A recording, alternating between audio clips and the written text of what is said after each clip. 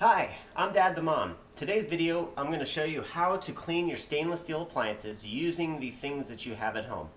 I hate having to go to the big box stores and spending $10 on that little spray can that runs out every two weeks because my, for some reason, my stainless steel appliances keep getting so dirty and I can't figure out why.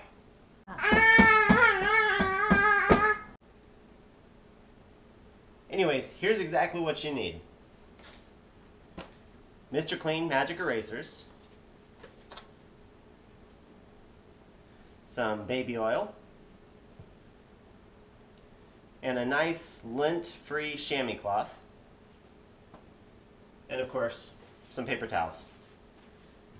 Start by using a damp magic eraser and scrubbing your stainless steel appliances till you get any fingerprints food, water, spots, whatever's on here, make sure you get it off.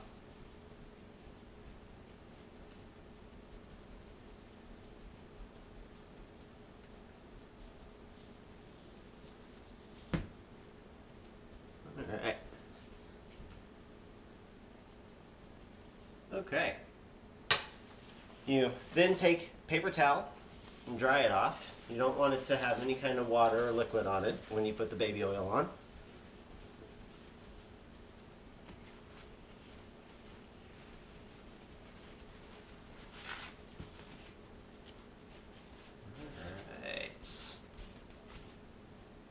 And then you put the baby oil.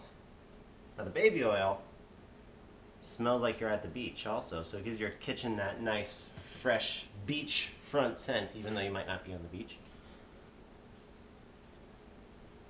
And make sure you always wipe with the grain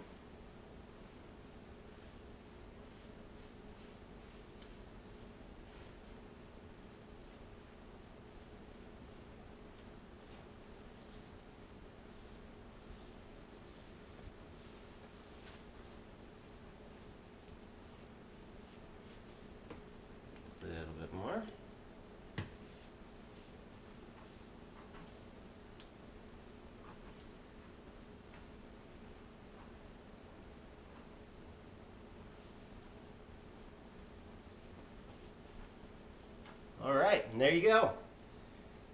This has been your DIY way of cleaning your stainless steel appliances using the products you already have at home.